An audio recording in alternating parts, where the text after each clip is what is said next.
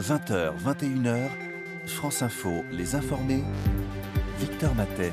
Juan José Dorado, l'Espagne, pays très, très catholique. Quel regard on a là-bas sur cette visite en, France du pape François?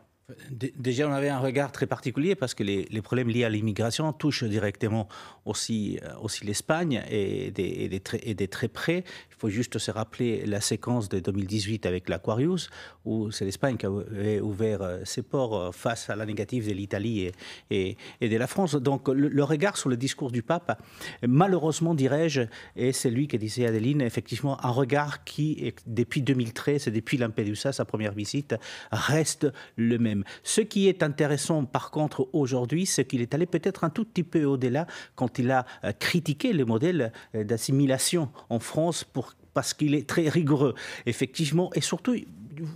Alberto parlait justement d'une phrase. Moi, j'ai retenu plutôt euh, du côté espagnol le fait qu'à un moment, qu'à un moment donné, il ait parlé de cette indifférence et du fait que personne n'est coupable dans l'indifférence. Non, tout le monde est coupable dans cette indifférence. L'Espagne se rappelle très bien ce qui s'est passé il y a quelques années du côté de Ceuta de Melilla, avec les migrants qui arrivaient via Gibraltar et le drame que ça supposait.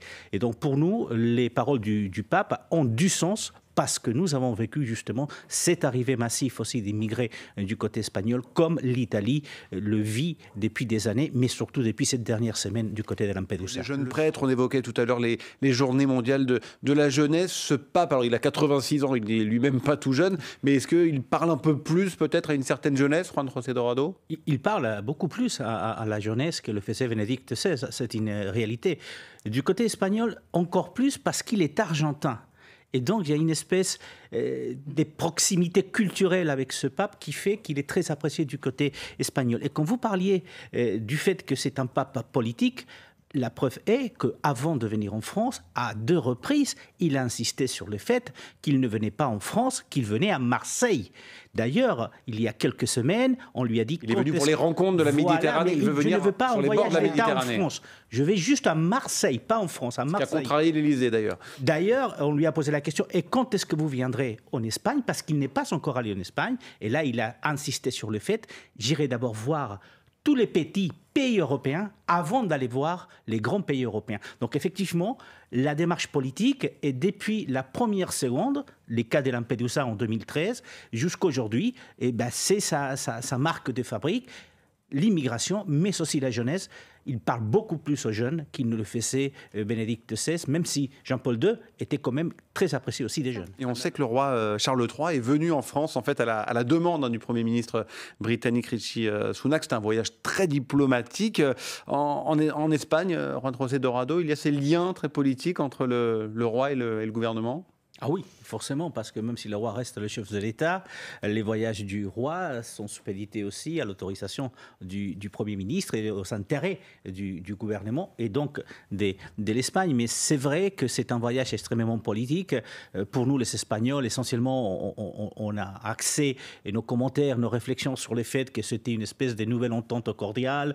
Euh, après les années Brexit, où ça a été très compliqué, les années Boris Johnson, où ont été aussi très compliquées, donc, c'était une façon de, remettre des, à nouveau Ce qui a été dit en France aussi. cette relation. Donc, nous, on a, on a plutôt accès là-bas. Après, c'est vrai que euh, mes, mes confrères m'ont posé beaucoup de questions sur cet aspect très particulier de la France monarchique, parce que euh, ils ont du mal à comprendre que la patrie de la Révolution française ait autant d'intérêt pour la monarchie anglaise, parce que nous, euh, lors du voyage de Felipe VI euh, en Espagne, le voyage d'État, il n'a pas été reçu euh, à Versailles. Lui, il a été reçu, et le dîner des galas a été, a été à, à l'Élysée. Et c'est vrai que toutes les chaînes enfants n'ont pas fait des émissions spéciales sur le parcours du roi d'Espagne. Donc, quelque part, on est un peu envieux voilà, c'est pour la ça que je la question sur la jalousie, voilà, qui existe quand même. Voilà, plus en Espagne qu'en Belgique, visiblement. À ces manifestations ce samedi contre, je cite, le racisme systémique, les violences policières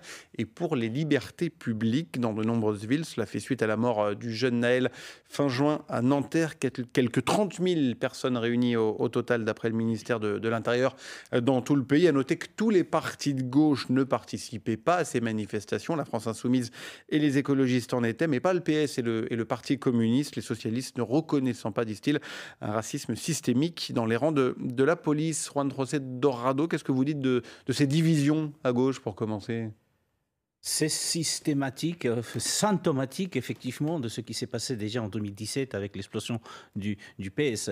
La NUPES, quand elle a été créée pour l'élection législative, c'était un besoin d'être représenté au Parlement pour tous mais c'était un mal mineur, hein, entre, guillemets. On voit qu'aujourd'hui, cette manifestation souffre aussi du fait euh, qu'il euh, y a des élections européennes qui vont arriver et que les partis vont aller, chacun mm. avec sa, sa propre liste. Et puis, effectivement... Mais on retrouve effectivement ces divergences de vues, peut-être une question de radicalité sur, euh, voilà, sur ce, point de vue des, violences policières. Voilà. Et puis, il y a justement le, slogan qui a été le titre de cette manifestation, violence systémique, qui, effectivement, je peux comprendre qu'effectivement... Le racisme systémique aussi. Ou racisme systémique peut comprendre je peux comprendre qu'une partie de la gauche ne se soit pas euh, représentée par ce, par, ce, par ce slogan.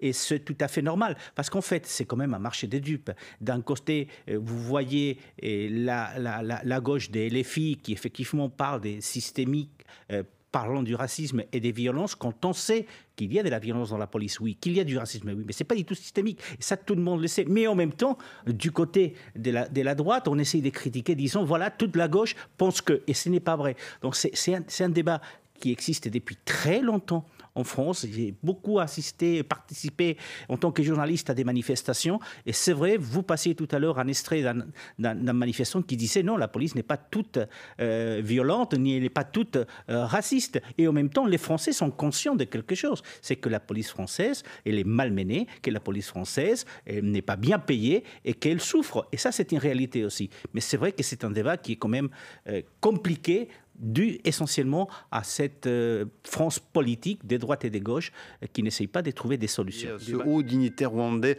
ancien euh, préfet, mis en examen cette semaine à, Paris et écroué, Pierre Kayondo, suspecté d'avoir activement contribué à l'organisation du génocide en, 1994, mis en examen pour génocide. Notamment, il faisait l'objet d'une information judiciaire en, en, France depuis 2021 après une plainte du collectif des partis civils du Rwanda. Le président ce collectif, Alain Gauthier, a réagi chez nos confrères de France Inter.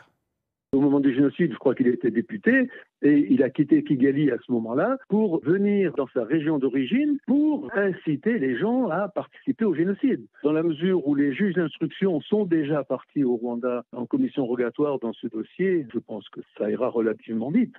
On a des plaintes avec des personnes qui sont âgées, qui échapperont à la justice parce qu'ils risquent de disparaître avant qu'ils ne soient jugés. Et ça, c'est ce que nous reprochons à la justice française depuis longtemps. On nous annonce deux procès par an. Le retard qu'a pris la justice française ne se rattrapera jamais. Juan José Dorado, intéressant hein, ce que dit euh, Alain Gauthier à, l'instant. À la fois, ça va aller vite hein, sur ce dossier-là, mais la France a pris un tel retard bah, que finalement, la, justice ne le rattrapera jamais. Effectivement, quel, quel retard 30 ans pour arriver effectivement à, amener devant la justice euh, dans, quelques temps l'un des responsables, des, supposés responsables du génocide et des crimes contre, contre l'humanité. Mais ce qui est à remarquer, c'est justement le fait que la France est en train de faire euh, son travail. C'est vrai que ça a été très compliqué. Le dossier rwandais pour la France a été très compliqué. On sait que pendant très longtemps, euh, les lycées euh, n'ont pas donné accès à tous les documents. Même encore aujourd'hui, il y a des documents auxquels certaines personnes, certains chercheurs, associations auraient besoin, auraient, pourraient accéder et ce n'est pas, et ce n'est pas encore